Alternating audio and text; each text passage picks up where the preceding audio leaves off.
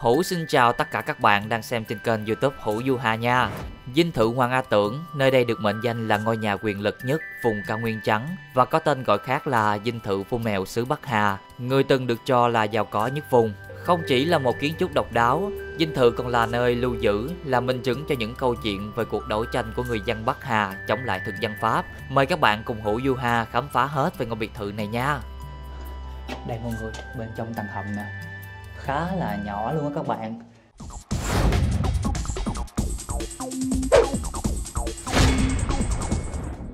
Các bạn ơi, hiện tại thì hữu đang đứng ở phía trước của ờ, khu dinh thự hoàng a tưởng hay các bạn. Phải nói là rất là hoành tráng, rất là bề thế luôn á. Còn đây là mặt trước của ờ, khu biệt thự này đây. Rồi, bây giờ chúng ta bước vào bên trong ha ở trên đó có một con ngựa nữa kìa các bạn. Trước khi bước vào bên trong thì các bạn sẽ mua vé ha. Một vé của người lớn là 20.000 đồng, còn vé của trẻ em là 10.000 đồng.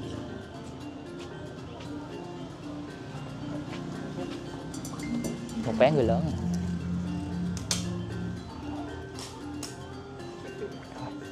đây là vé của mình nha mọi người. Còn đây là sơ đồ tham quan ha. Đây là tòa nhà của một người dân tộc Tày ha các bạn có tên là Hoàng Yến Trao ha đó. mặc dù là người dân tộc á, nhưng các bạn thấy không ông quá giàu có luôn các bạn đó. rồi ở phía trước có một con ngựa nữa nè nó hiền quá à. Hmm. ừ. Hồi nó chào luôn kìa nó biết chào luôn kìa đây dinh thự của chúng ta đã ám màu thời gian rồi ha. Và hiện tại đang có gọi là một cái hoạt động á, là trùng tu lại cái ờ, tòa dinh thự này mọi người.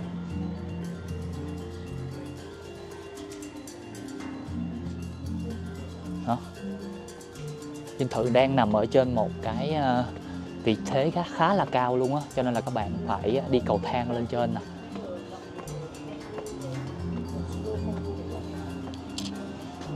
Wow. Bên trong dinh thự đi mọi người ơi. Ồ, hai tầng hả các bạn? Để hiểu hơn về ngôi biệt thự này, chắc có lẽ chúng ta hãy cùng nhau tìm hiểu một chút về chủ nhân thật sự của ngôi biệt thự này là ai nha các bạn. Ngôi biệt thự xa hoa lộng lẫy này trước năm 1945 thuộc về ông Hoàng Yến Trao, người dân tộc Tây, được xem là một địa chủ đã bóc lột nhân dân, làm ăn bắt chính, tiếp tay cho đồn binh Pháp. Ông được giao cho quản cả một vùng có đến 70% dân tộc Mông, còn được gọi là dân tộc Mèo, nên ông còn được biết đến với tên gọi là vua mèo. Cụ thể, trong suốt thời gian cai trị từ năm 1905 cho đến năm 1950, dưới sự bảo hộ của thực dân Pháp, Thổ tiên Hoàng Yến Trao chiếm giữ nhiều vùng đất màu mỡ, cướp đoạt của người dân khoảng 30 hecta ruộng, giao cho tá điền trồng cây, chăm sóc và thu hoạch với sản lượng khoảng 42 tấn thóc. 14 tấn ngô mỗi năm. Ngoài ra, cha con ông Hoàng Yến Trao còn được quyền khai thác lâm sản, độc quyền buôn bán muối, hàng tiêu dùng, thuốc viện, lương thực, thực phẩm, vân vân. Nhờ vậy, thổ tiên Hoàng Yến Trao đã tích lũy được lượng của cải lớn, từ đó xây dựng dinh thự bề thế, thể hiện sự giàu có và uy nghi của mình. Người Tây có tục đặt tên ngôi nhà theo tên của người con ở cùng với cha mẹ lúc trưởng thành. Đó là lý do tại sao dinh thự của chúng ta có tên là Hoàng A Tưởng nha các bạn. Ngoài ra, dinh thự này còn có những cái tên khác như là dinh thự Vô Mèo hay lâu đài Hoàng Yến Trao. Ở đây hình như có một cái lối đi nữa nè Đây mọi người ạ. À.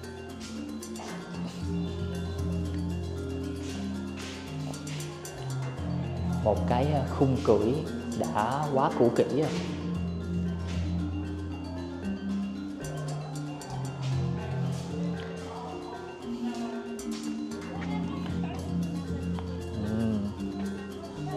Có một cái uh, tiểu cảnh của người đồng bào ở đây nữa nè.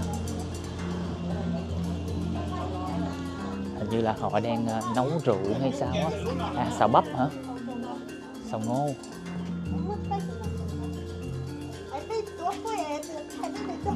Đây là quy trình nấu rượu ngô truyền thống mọi người.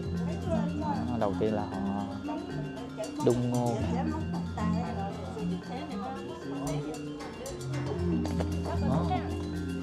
xong á cái ờ, cái, cái, cái chất rượu á nó phải có nhiều tổn tổn ở đây nè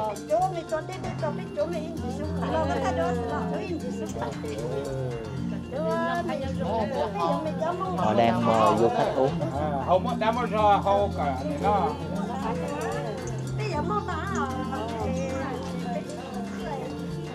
rồi tiếp tục đi khám phá tiếp nha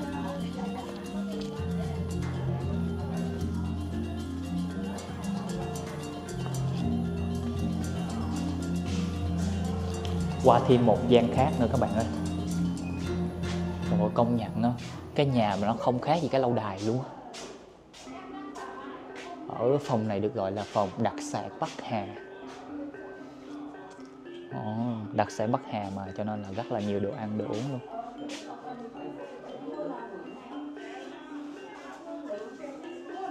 Ờ, ở đây mình thấy có atiso nè hồng trà củ tam thất nè nụ tam thất. Rất là nhiều luôn các bạn. Wow. qua tới à, văn rượu nè.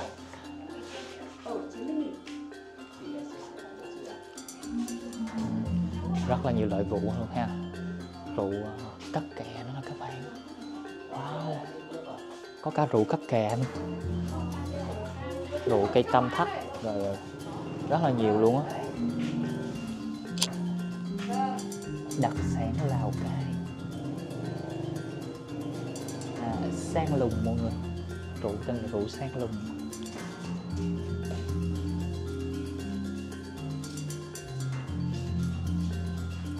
Còn ở phía sau uh, căn nhà nữa nè.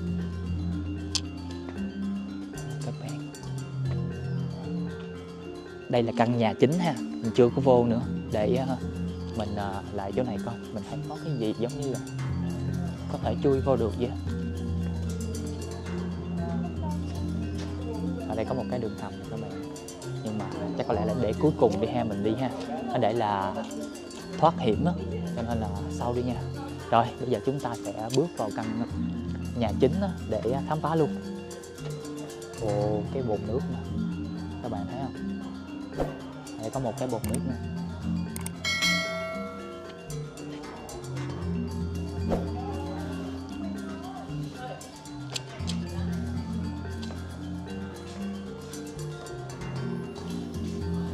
còn đây là cái gì đây các bạn? Bồn chứa nước hả? Không có gì hết trơn mọi người. Ở đây nữa nè. Rong rêu bán quá trời luôn.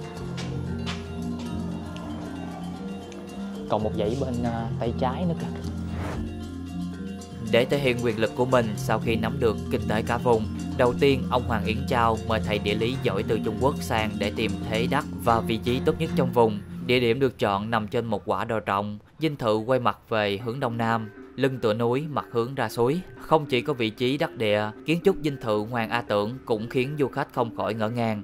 Đó là sự kết hợp nhuần nhuyễn, tinh tế giữa hai lối kiến trúc Á Âu, thể hiện sự giao thoa văn hóa Đông Tây gõ nát. Cụ thể, kiến trúc dinh thự cho thấy sự kết hợp kiến trúc của Pháp thế kỷ thứ 17, thế kỷ thứ 18 với kiến trúc của Trung Quốc qua bàn tay sáng tạo xây đắp của những thợ người Việt.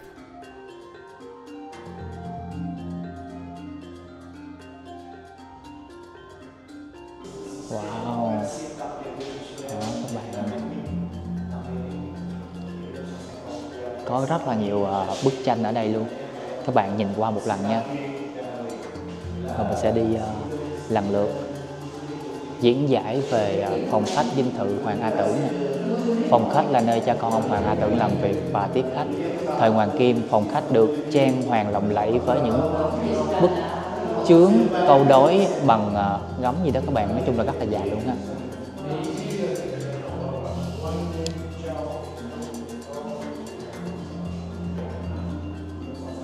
Ờ, cái này là ông Hoàng Yến Trao và bà vợ các bạn. Ừ. Mỗi bức tranh đều có chú thích đó. Bà Sản, con gái, vợ hai và anh chị em ha. Còn đây là hai em dâu và cháu Hoàng Yến Tê Trao. Hoàng Yến Trao. À, Gia đình trước dinh Hoàng Yến Trao và vợ và và, và người nhà Hoàng Yến Trao và con cháu. Hoàng Yến Tê Trao hay mọi người nhưng mà có một số cái tài liệu để là Hoàng Yến Trao còn à, khách đến à, thăm dịch thự. Rất là nhiều luôn nha các bạn. Mình đi sơ ngang nha. Ui ai mà đẹp quá vậy? Bà Phượng con gái thứ hai của vợ Hoàng Yến chào chụp năm căn cư cái gì đó. Hồi nãy chúng ta đã tìm hiểu về chủ nhân của ngôi biệt thự Hoàng Anh Tử này rồi. Giờ chúng ta sẽ cùng nhau tìm hiểu về quá trình xây dựng nên ngôi biệt thự này nha các bạn. Dinh thự Hoàng A Tưởng được xây dựng vào đầu thế kỷ thứ 20 Mất khoảng 7 năm để hoàn thành từ năm 1914 cho đến năm 1921 Khác với kiến trúc của các dinh thự Việt Nam lúc bấy giờ, dinh thự Hoàng A Tưởng vừa là nơi sinh sống của đại gia đình Hoàng Yến Trao, vừa tựa như một pháo đài kiên cố bảo vệ chủ nhân. Bố cục hình chữ nhật khép kín với 36 phòng bao quanh, tổng diện tích lên tới 4.000 m2. Xung quanh dinh thự còn có tường rào, ở các bức tường đều có lỗ châu mai như pháo đài bảo vệ. Ở giữa nhà là một khoảng sân rộng thường được dùng để tổ chức lễ hội, múa hát, vui chơi để có thể vững trải qua hàng trăm năm nhưng không bào mòn trước nắng gió. Toàn bộ dinh thự được lợp bằng ngói gốm, sản xuất từ đất sét, khai thác từ trong lòng núi dưới sự giám sát của kiến trúc sư nước ngoài. Sàn nhà được lát bằng gỗ quý, lấy từ núi Hoàng Liên Sơn. Nguyên vật liệu xây dựng cho căn dinh thự Hoàng A Tưởng như đá vôi, xi măng đều được sử dụng loại đắt tiền vận chuyển bằng máy bay của Pháp.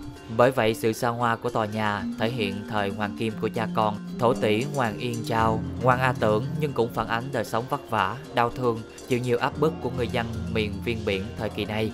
Với những giá trị độc đáo, ngày 11 tháng 6 năm 1999, Bộ Văn hóa Thông tin quyết định công nhận dinh thự cổ Hoàng A Tưởng là di tích cấp quốc gia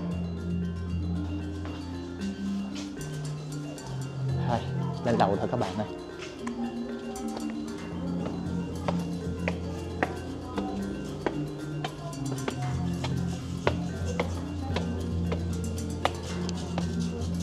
Ừ, những cái ờ, lớp mái nhà nè đã phủ đầy tiêu phong luôn á.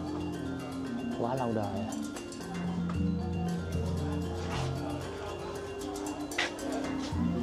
hình như là công trình đang trùng tu đúng không anh?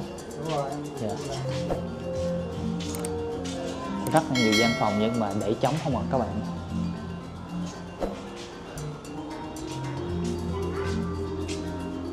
Ừ, đây nữa nè. Cũng không có gì luôn.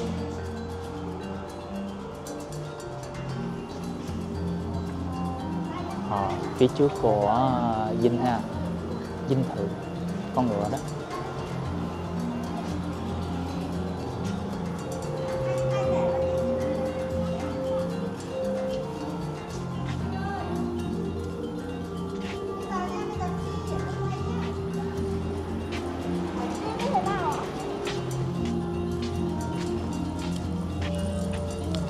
Có cả du khách nước ngoài nữa.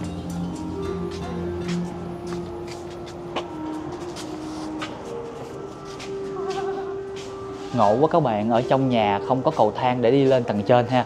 Muốn đi tầng trên là phải đi uh, ra ngoài sân còn mới lên được tầng trên. Cũng đặc biệt thì chứ.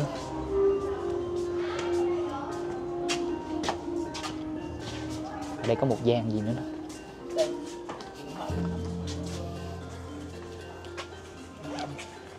Không không mở được. Tiếp tục. Đây là gì đây? Thôi đồ lung tung hết trơn các bạn ơi. Giống như là phòng ngủ của nhân viên ở đây vậy. Rồi, hết rồi. Đây là cái khu vực bên dưới. Khi bước vào bên trong ngôi nhà này là mình liên tưởng đến nhà của Bạch Công Tử ở Mỹ Tho hay Hắc Công Tử ở Bạc Liêu ấy mọi người. Rất là bề thế và nguy nga luôn các bạn.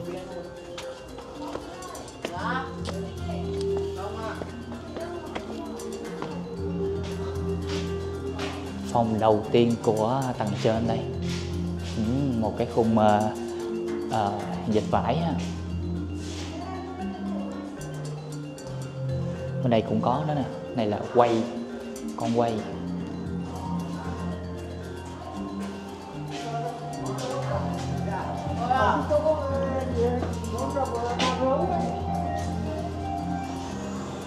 giờ những cái gian phòng này được ờ, uh, trưng dụng để uh, làm một cái giống như là cái triển lãm nha các bạn. Ừ, đồ uh, của các uh, đồng bào ở đây ha.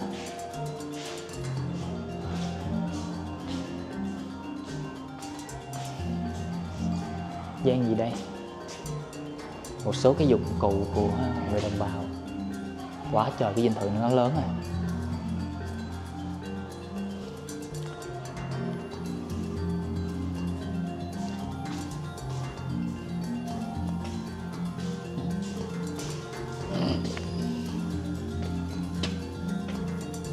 Hết rồi đó các bạn. Rồi, các bạn đã thấy gì chưa? Cái à, khu vực thoát hiểm bên dưới kìa. Nó giống như là một cái à, tầng hầm vậy đó mọi người bây giờ hữu sẽ đi xuống dưới đó nha. Đây mọi người, ở phía trước tầng hầm á, mình thấy có một cây à, gọi là cây đinh mộc hương ha. Do ông hoàng yến tờ trao trồng nè. Đây là cây đinh mộc hương cho mọi người ạ. À. rồi, bây giờ các bạn đã sẵn sàng bước vào bên trong tầng hầm u tối chưa? Thực sự mình cũng không biết nó sâu hay rộng hay dài như thế nào nữa mọi người. Và không biết có gì bên trong này nữa. Cứ đi vô ha tối quá mình phải sử dụng à, đèn à, pin nữa nè.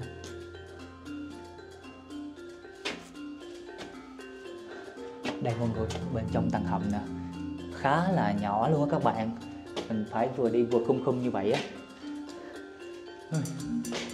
Cái à, tầng hầm này là mình nhớ đến cái địa đạo củ chi của mọi người. Mình vẫn chưa thấy gì ở bên trong này hết nha. Ooh.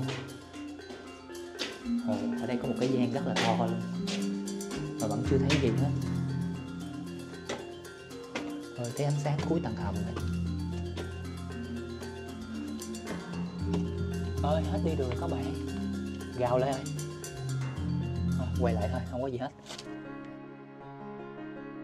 những thước phim này cũng đã khép lại tập phim của chúng ta rồi đó các bạn. Đối với mình, dinh thự Hoàng A Tưởng, một công trình nguy nga tráng lệ, hiện diện như một biểu tượng thời kỳ Hoàng Kim giàu có và quyền lực của thổ tỷ Hoàng A Chao, cũng như con trai của ông Hoàng A Tưởng. Đồng thời, tòa nhà này cũng thể hiện sự khổ cực và áp bức của người dân Bắc Hà trong nửa đầu thế kỷ thứ 20.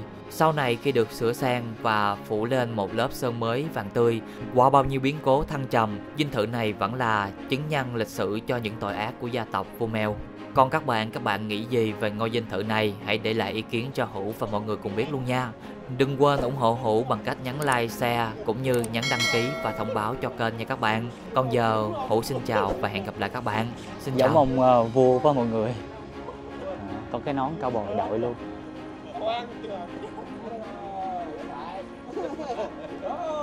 Ủa, xin nghe nào? Sao tốt? Dương!